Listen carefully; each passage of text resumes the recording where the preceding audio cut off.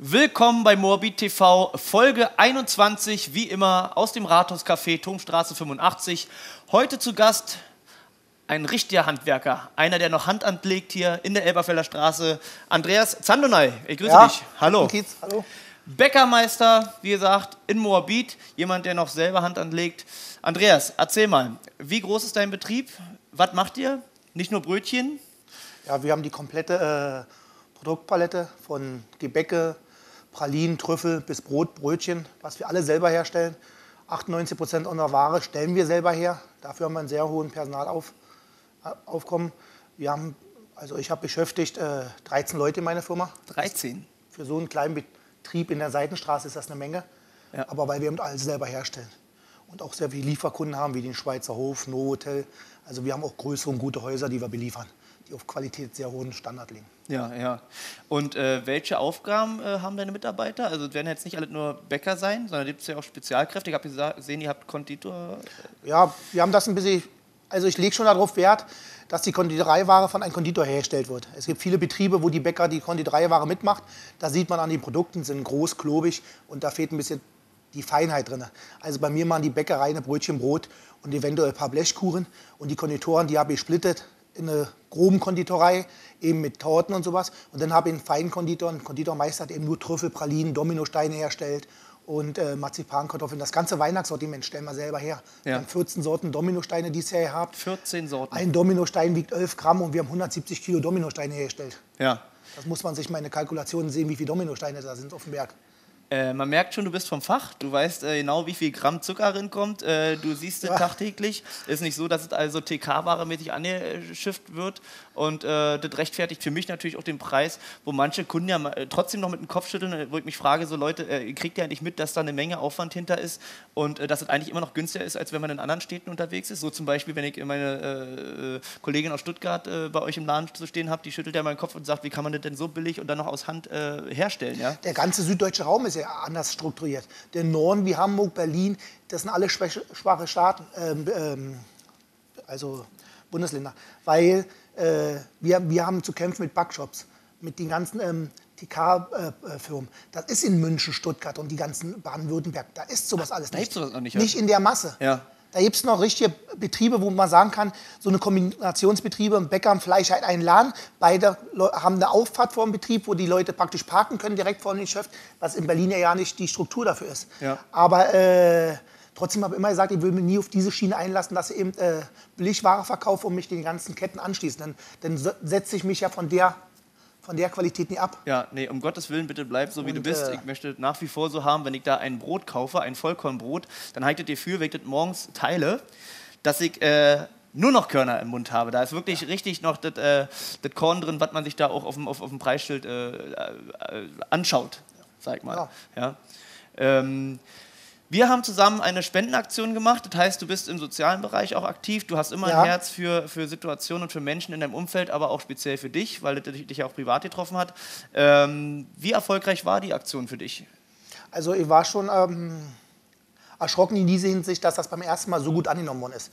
Auch von der Summe, die zusammengekommen ist. Ja. Wir haben ja für die Kinderkrebsklinikum das Virchow Krankenhaus gespendet, Station 30, ne? Station 30, ja. Aus diesem Grund auch, weil eben unser Sohn da gelegen hat und verstorben ist auf der Station und ähm, wir trotzdem ein gutes Verhältnis zu der Station haben. Ja. Und wir das Elend gesehen haben, woran die Leute sparen. Ja. Autos, Benzin, das können sie sich alles leisten. Aber einen Tag mal auf diese Stationen zu verbringen, was da kaputt ist oder was da fehlt, Ja. mit Kleinigkeiten, was man den Kindern gut tun kann. Äh, Ja, Spielzeug, DVD-Spieler und so, Fernseher ne? sind kaputt. Andere sagen, für was braucht ein Kind einen Fernseher? Wenn so ein Kind da auf, auf der Station liegt und das Zimmer nicht verlassen kann und nur den Fernseher da um hat, ist das für das Kind in der letzten Phase kleiner Punkt, wo er sich darauf konzentrieren kann, ablenken kann und so. Und da wollten wir einfach was Gutes tun. Der Oberarzt der Kinderklinik war auch bei uns, der war sehr erschrocken, was wir in der kurzen Zeit an Stunden gesammelt haben. Mhm. Wir werden die Aktion dies Jahr auch wiederholen, das steht fest. Wir werden die Straße mit einbinden. Super. Und äh, ich will noch weiter aktiv werden im sozialen Bereich. Wir werden zum Beispiel den warmen Otto vom Morbid, da kriegt jeder Obdachlose dieses Jahr von mir eine Stolle geschenkt. Ja. Weil äh, viele Leute, wenn es einem selbst ein bisschen besser geht, soll man abgeben. Ja. Das, Genau. ver das vergessen die meisten. Und wie schnell kann man heute obdachlos werden? Durch ein Beruf verloren, Scheidung. Das geht heutzutage so schnell. Ja. Und dann diese Leute gehen, gehen die anderen vorbei und sagen immer, der Alkohol, die Drogen. Das sind aber nicht immer die Faktoren. Das, man kann so schnell in so einen Kreislauf reinrutschen. Und wenn man das Elend sieht, dass sie über kalte Winter so lange draußen liegen und ähm, frieren oder sich manche erfrieren sogar, habe ich gesagt, möchte man mal eine kleine Sache dahin gut tun. Ja, also ihr merkt schon, Andreas Sandonai ist ein Mann mit Herz und äh, wir, ich war damals gerne dabei und werde auch immer wieder zur Seite stehen, wenn so eine Aktion starten. Äh, meine Unterstützung und meine Werbung hast du über Morbidis Beste, da werden wir bewerben. Und wir müssen natürlich die Bürger immer wieder bitten, äh, mitzumachen. Ne? Ja, das, sind, das ist ja das, das, äh, das was viele ähm, noch nicht so wahrgenommen haben. Die lesen es in der Zeitung, das, was Schlimmes passieren kann, ist egal in welcher Situation. Aber wenn man mit mir selbst betroffen ist, dann lässt man sich das nicht an sich ran. Und das ist eben das Traurige, was wir ein bisschen noch haben. Ja.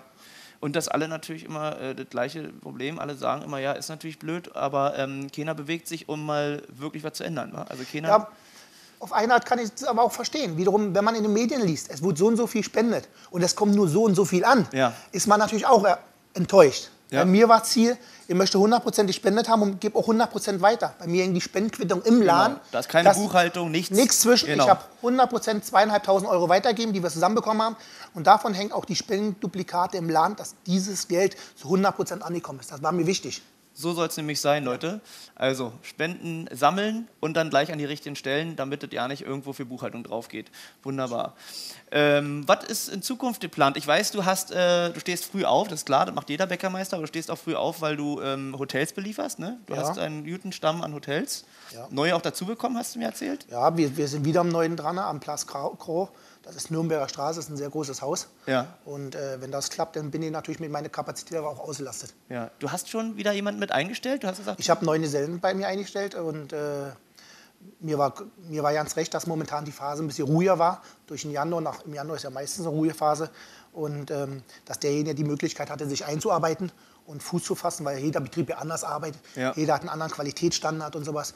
Und äh, der hat sich gut eingearbeitet und jetzt kann das Hotel kommen. läuft es. Und äh, den Schweizer Hof hast du auch, ne? im Den habe ich seit acht Jahren. Das muss man ja auch mal sagen. Ja. Schweizer Hof, acht Jahre lang kommen die Brötchen aus Moabit vom Bäckermeister Andreas Sandonai. Also es ist eine Seltenheit heutzutage, dass man in so einem Fünf-Sterne-Hotel so lange drin ist. ja.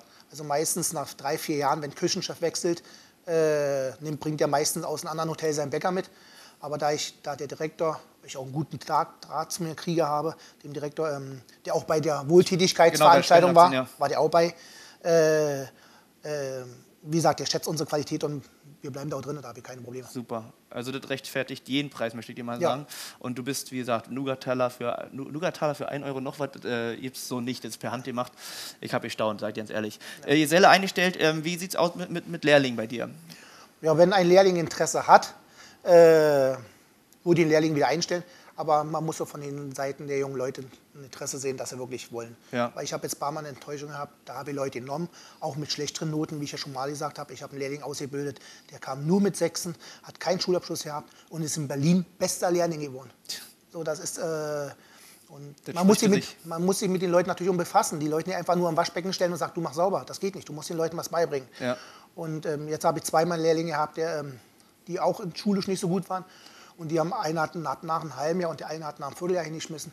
Und da habe ich erstmal eine Pause genommen, weil das auch sehr anstrengend ist. Ja klar, du musst Eine immer neu einarbeiten, dann brechen sie ab und dann hast du Richtig. fängst wieder von vorne an. Also, liebe Jugend da draußen, wenn ihr Bäckermeister werden wollt oder in eine Lehre gehen wollt, dann mit ernsten Absichten bei Andreas Zandonai melden. Äh, ihr merkt, es gibt noch Lehrstellen. Und man Äh, lernt doch was Gutes. Genau, und man lernt auch was Gutes, vor allem bei den richtigen Leuten. Also ihr geht dann nicht mit den Brötchen tief gekühlt äh, in, die, in den Tiefkühlraum, sondern ihr backt die von A bis Z. Andreas, ich danke, dass du da warst. Danke dir auch, Captain Ich Kids. wünsche dir viel Erfolg weiterhin. Wir sehen uns in Ich der hoffe, dass du so Straße. weitermachst. Werde ich machen. Wie arrangiert du jetzt bist und dass das so alles so bleibt. Machen wir so. Okay, auf Okay. Wiedersehen. Tschüss.